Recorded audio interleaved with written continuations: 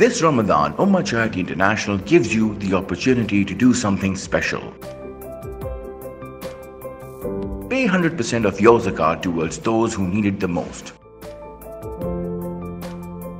Your zakat can go towards any cause which is close to your heart.